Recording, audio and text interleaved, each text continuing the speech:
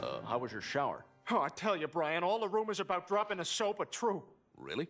Oh, yeah, you can't hold on to that thing to save your life. Oh, it was slipping all over the place. Guys were laughing. Hey, there's a guy who couldn't hold on to the soap. Oh, that was classic. Let's get to grilling. Pass me the ribs, baby. Absolutely.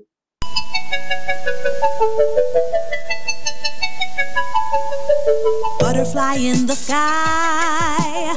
I can go twice as high. Take a look, it's in a book, a reading rainbow.